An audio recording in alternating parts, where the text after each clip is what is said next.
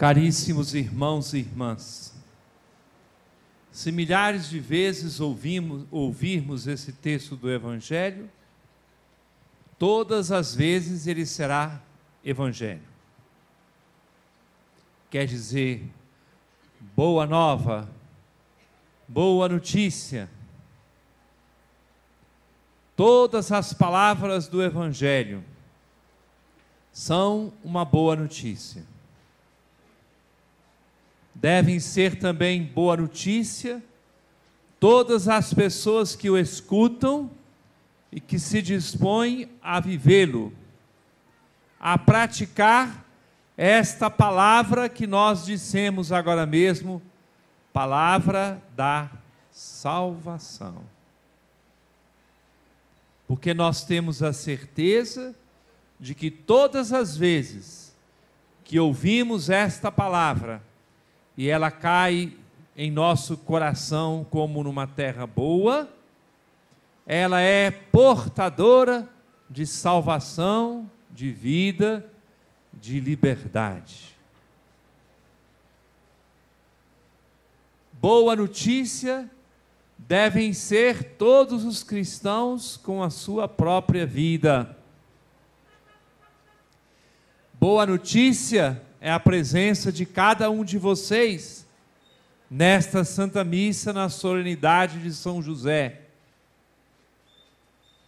Boa notícia, porque algo se moveu dentro do coração de cada um de vocês.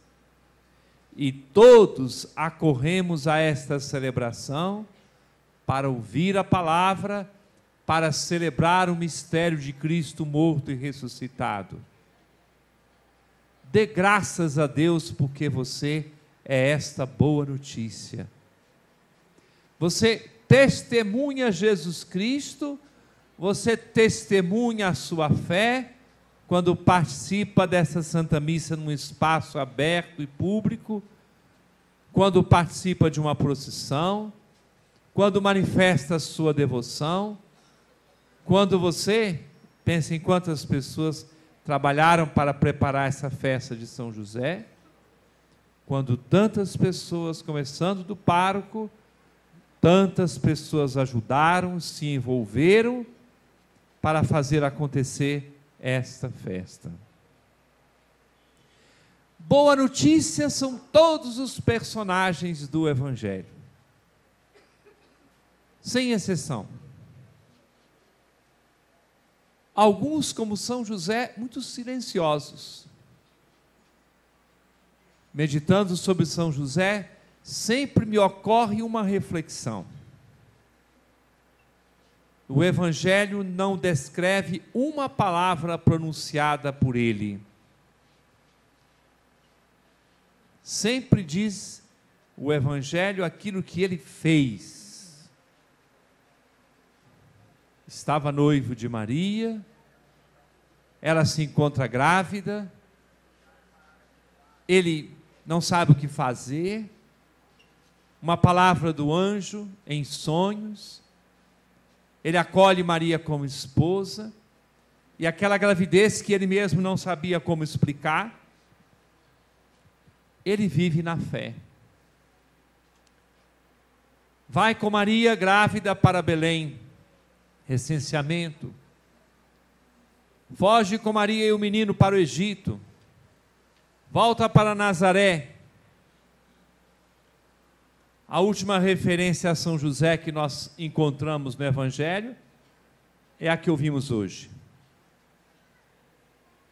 Jesus voltou para Nazaré, era desobediente, obedecia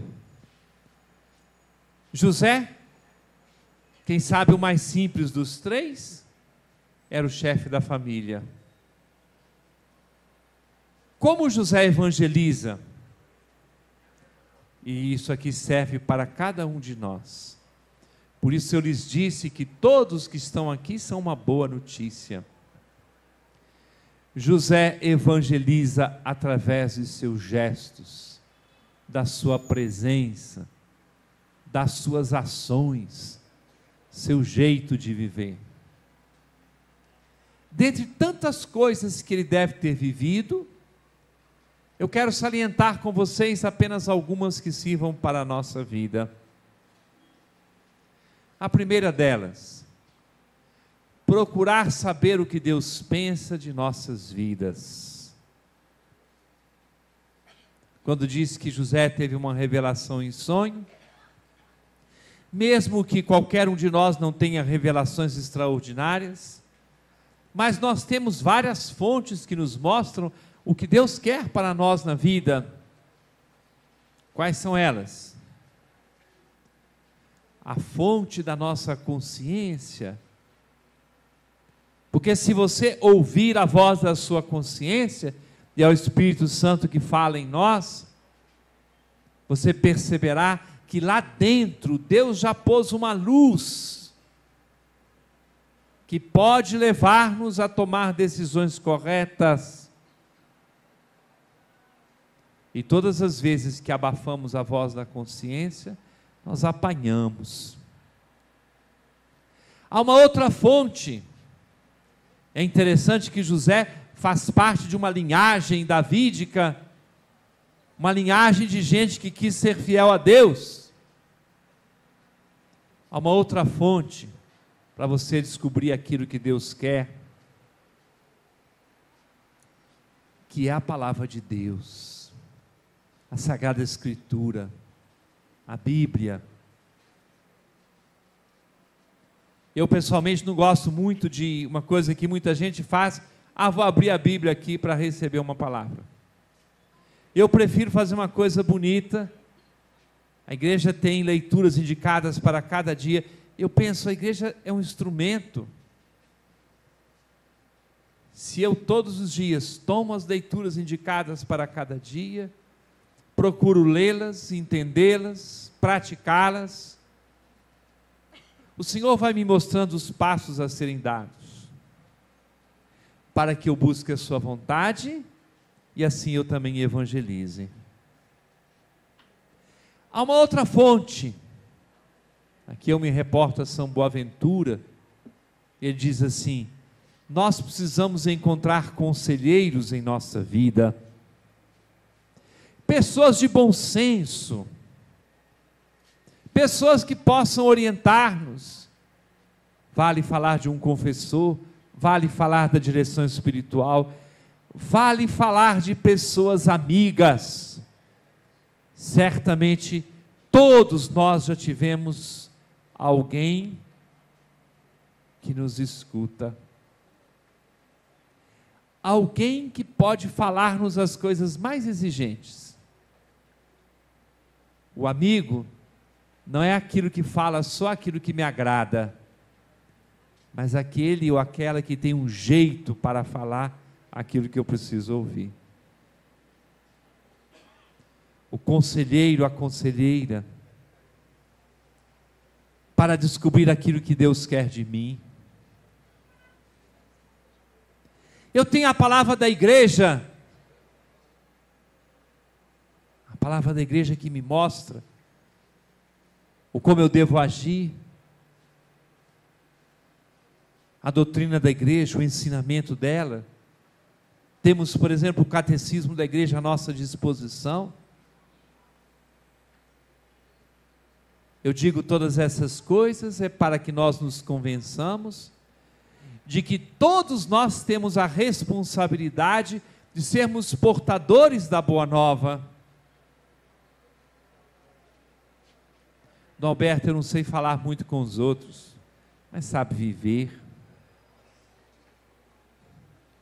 Quantas pessoas aqui vivem com retidão a sua profissão, o seu estado de vida? Quantas pessoas aqui procuram a verdade, querem a sinceridade, não querem ceder quando alguém lhes propõe de fazer algo errado ou corromper-lhes o coração? Pois bem, olhar para São José hoje é acreditar que é possível a gente ser santo, é possível nós sermos melhores, é possível nós vivermos a palavra de Deus, até porque o Espírito Santo nos conduz. Deus está presente. Deus não é uma lembrança, Deus é alguém, Deus é Pai amado, Criador que nos ama, Deus é Filho redentor, Deus é Espírito Santo que nos ilumina. A vida da igreja e o que mistério que nós celebramos agora não é um fazer de contas. É a realidade do mistério de Deus. Por isso, na missa, várias vezes dizemos, quando o sacerdote fala, o Senhor esteja convosco, Ele está no meio de nós. Na consagração, isto é o meu corpo, é o meu sangue. A nossa fé nos deve a caminhar como São José caminhou, na fidelidade, como se estivesse enxergando o que é invisível. E cada pessoa, com as suas características, com seu temperamento, seu jeito de ser, descubra que é uma boa notícia para os outros e deve caminhar para ser cada vez mais testemunha do Evangelho. Deus nos dê a graça de viver os ensinamentos dessa Santa Missa.